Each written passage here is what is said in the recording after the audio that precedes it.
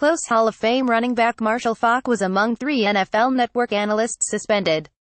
USA Today Sports A Boston Globe report published Thursday night describes an ESPN culture of hostility toward women and details a harassment complaint filed by a former employee. The report also details how some women attempted to hide their pregnancies out of concern for job security. Former anchor Sara Walsh tried to conceal her pregnancy complications, and last spring revealed on Instagram that she had suffered a miscarriage while she was on air. The Globe reported that Adrienne Lawrence who joined ESPN in 2015 in August filed a UAL harassment and retaliation complaint against the network with the Connecticut Commission on Human Rights and Opportunities. ESPN has failed to address its deeply ingrained culture of ism and hostile treatment of women, Lawrence told the paper. Lawrence claimed that one of ESPN's veteran anchors, John Buccigross, sent her shirtless photos, and she also accused him of spreading rumors that the two were in a relationship. Lawrence said her complaints to ESPN were ignored. She claimed that she subsequently received fewer on-air shifts and was not offered a permanent role. Buccigross told The Globe in a statement, I considered Adrienne to be a friend. I'm sorry if anything I did or said offended Adrienne.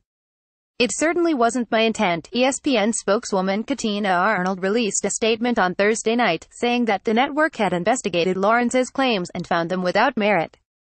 More Donovan McNabb, Eric Davis suspended by ESPN as it investigates harassment allegations More NFL Network suspends Marshall Faulk, Ike Taylor and Heath Evans over UAL harassment allegations Wake conducted a thorough investigation and found these claims to be entirely without merit, Arnold said. Lawrence was hired into a two-year talent development program and was told that her contract would not be renewed at the conclusion of the training program.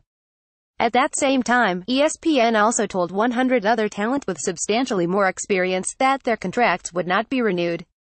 The company will vigorously defend its position and we are confident we will prevail in court. ESPN statement on Adrienne Lawrence https t.cogo 637 mapic.twitter.com book 6 igam Katina Arnold at Catanase PN December 14, 2017 The Connecticut Commission on Human Rights and Opportunities where Lawrence filed her complaint told the paper that Lawrence requested her complaint be released so she could sue in federal court.